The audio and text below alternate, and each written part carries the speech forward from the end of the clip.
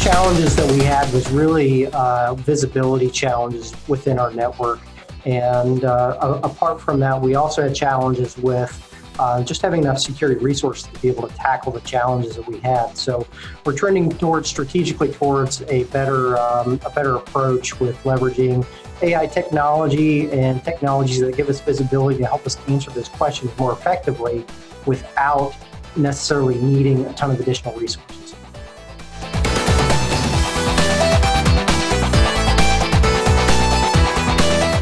Gives us fantastic visibility both from a north, south, and east west perspective. It allows us to integrate with our SIEM technology to be able to uh, handle requests and potential issues as a part of our workflow and as a part of our playbooks that we implement for various issues that we see within the environment. So not only does it create that, that lack of visibility that we had within the network stream, both northwest and east south, but it also gives us the capability to respond to those events in a much faster action than what we did before and with fewer resources. So it addresses the very specific challenge that I had in the organization and, and doing so with, with minimal overhead uh, as a part of what I'm trying to achieve strategically.